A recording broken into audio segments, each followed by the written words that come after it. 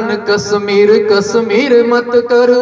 कश्मीर तुझको ही भारी पड़ जाएगा। इमरान, कश्मीर कश्मीर मत कर। कश्मीर तुझको ही भारी पड़ जाएगा। कश्मीर भारत का दिल है, इसे न तोड़। तोड़ेगा तो देख लेना युद्ध छिड़ जाएगा। शेर से चली है टक्कराने देखो भूरी धड़ जाएगा और अपनी औकात पे हम जो आ गए तो फिर एक फूक में ही पाकिस्तान उड़ जाएगा।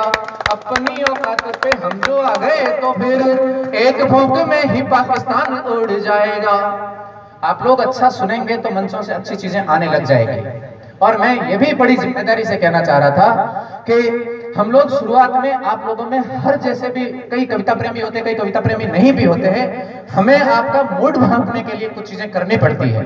एक माहौल बनाने में, कवि को परिवर्तन करने में हमें कुछ चीज़ें करनी पड़ती है, लेकिन लास्ट तक जो भरोसा करके बैठता है, वो निश्चित रूप से कविता और कविता के साथ, संस्कार और संस्कार के साथ में आने वाली पीढ़ी को देने वाली ज़िम्मेदारी साथ लेकर लौटता है।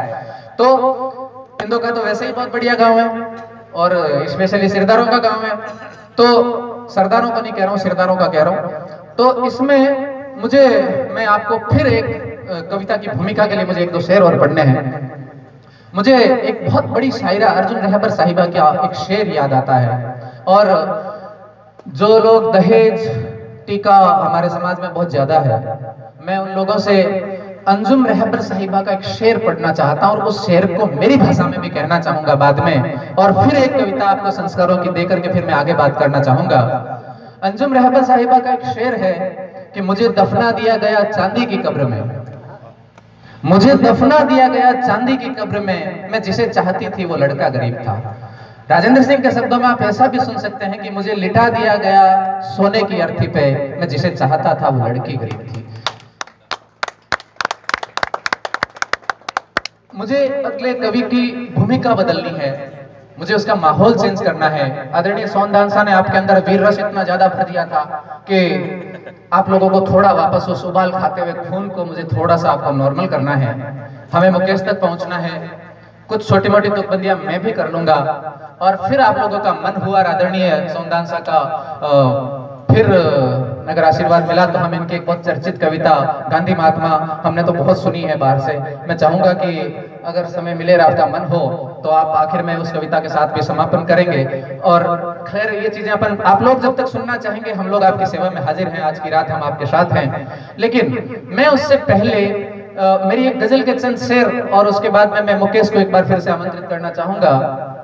मेरी एक गज़ल है, अगर आपको ठीक लगे, उसके कुछ शेर पढ़ता हूँ। ठीक लगे तो आप आशीर्वाद की तालियाँ उस पर भी देना और मोहर लगाना कि हाँ कभी कभी आप लोग युवा ज़्यादा बैठे हैं, कहीं ना कहीं हमारे जीवन में कुछ इस टाइप की चीज़ें आती है। तो ठीक लग जाए, आपके कलेजे पर ठक से दस्तक दे तो बताना कि तुम्हें कोई मलाल भी नहीं हमें चीट करते हुए। तुम्हें कोई मलाल भी नहीं हमें चीट करते हुए। दिल रोया बहुत, तेरे नंबर डिलीट करते हुए। तुम्हें कोई मलाल भी नहीं। हमें चीट करते हुए दिल रोया बहुत, तेरे नंबर डिलीट करते हुए कि हाथ पकड़कर लिखना सिखाया था जिसे कभी। हाथ पकड़कर, हम स्कूल के प्रोग्राम में, हाथ पकड़कर लिखना सिखाया था जिसे कभी, आज वही ज्ञान दे रहे हैं, ट्वीट करते हुए। हाथ पकड़कर लिखना सिखाया था कभी, आज वही ज्ञान दे रहे हैं, ट्वीट करते हुए। वैसे तो हम किसी का जवाब नहीं देते। अभी थे ना साहब? सुनिए, उनको समर्पित वो जहाँ भी है भगवान उन्हें उन तक मेरा शेर पहुँचाए। वैसे तो हम किसी बात का जवाब नहीं देते, आज फिर भी दे रहे हैं खुद को ढीठ करते हुए। वैसे तो हम किसी बात का जवाब नहीं देते, आज फिर भी दे रहे हैं खुद को ढीठ करते हुए। आज फिर भी दे रहे हैं खुद को ढीठ करते हुए। कि आज जिस ऊंचाई पर इतरा रहे हो राज तुम, आज जिस ऊंचाई पर इतरा रहे हो राज तुम, कुछ लोग दब गए हैं तुम्हें ग्रीट करते हुए। आज जिस ऊंचाई पर इतरा रहे हो राज तुम, कुछ लोग दब गए हैं तुम्हें ग्रीट करते हुए। तुम्हें कोई मलाल भी नहीं हमें चीट करते हुए। तुम्हें कोई मलाल भी नहीं हमें चीट करते हुए। हमने दिल रोया बहुत तेरे नंबर डिलीट करते हुए, दिल रोया बहुत तेरे नंबर डिलीट करते हुए। और इसी टाइप की भूमिका के लिए मैं कुछ शेर व शायरी के लिए मुकेश को आमंत्रित करूँ। उससे पहले मुझे एक पाकिस्तान का शायर देखिए। आप अगर अमन की बात करते हैं या आप अगर तहजीब की बात करते हैं या कविताओं की बात करते हैं तो उसमें फिर सीमाएँ नहीं देखी जाती। और वैसे ही पाकिस्तान तो अपना ही था तो तहजीब कोई पुराना दूसरा नहीं है। बहुत चर्चित शायर है, इन दिनों बहुत ज़्यादा चर्चित हो रहा है। मुझे उस तहजीब हाफी की दो पंक्तियाँ, दो शेर याद आते हैं। मैं उसी शेर के साथ मुकेश को वापस आमंत्रित करना चाहूँगा।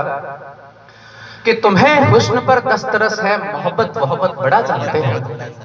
तुम्हें हुस्न पर दस्तरस है मोहब्बत मोहब्बत बड़ा जानते हो तो फिर ये बताओ उसकी आँखों के बारे में क्या जानते हो?